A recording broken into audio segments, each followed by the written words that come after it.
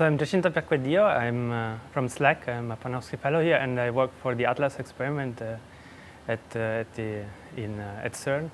And uh, okay, we are, we are working, we are, uh, right now we are looking for the, we are trying to, to probe the, um, the Higgs sector. So we are trying to measure the property of the Higgs after having discovered now a few years ago.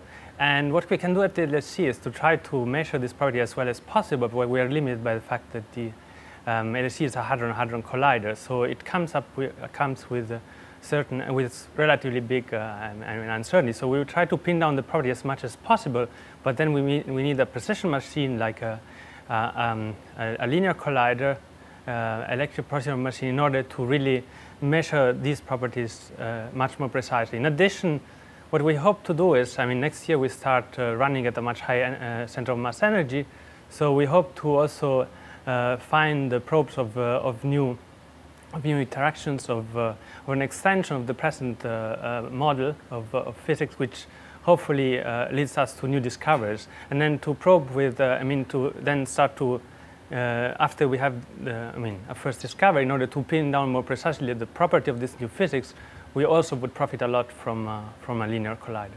So that's, and, and at much higher energy than we had in the past. And so that's why I think the ILC should be, should be built.